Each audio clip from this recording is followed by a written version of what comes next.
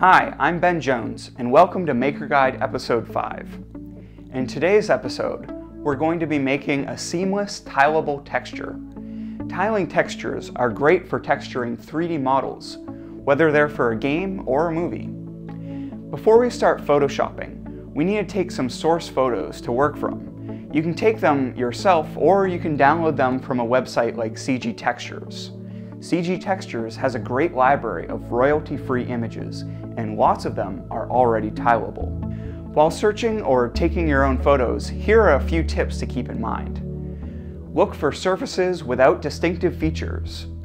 Take pictures straight on to minimize perspective. Look for flat, even lighting across the surface of the texture. Cloudy or overcast days are the best since the, since the sky acts as a giant softbox. Open your picture in Photoshop. This image has some unwanted perspective, which we need to correct. Duplicate the layer. Go to View, Rulers to show your rulers. Click and drag on the rulers to create some guides. Go to View, Snap to turn off snapping. This is helpful for fine-tuning the perspective in the image. Go to Edit, Transform, Distort.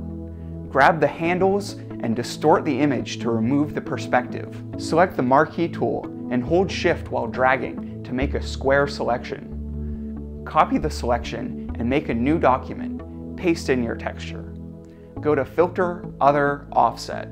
Select Wrap Around and drag the horizontal and vertical sliders to move the seams to the center of the image.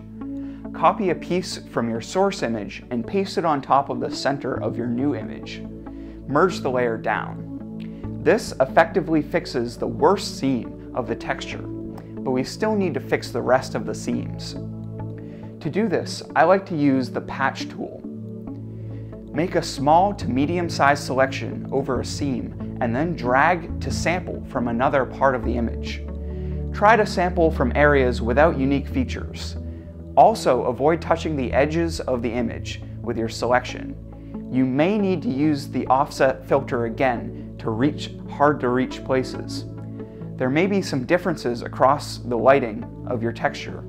To even it out, duplicate your texture and desaturate it. Set the blending mode of the layer to luminosity. Go to Filter, Other, High Pass.